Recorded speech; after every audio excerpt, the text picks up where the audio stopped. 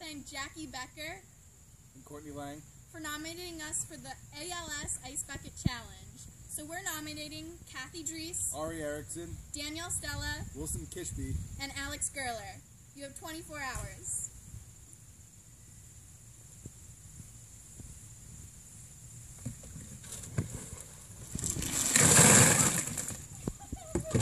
I think you did it wrong.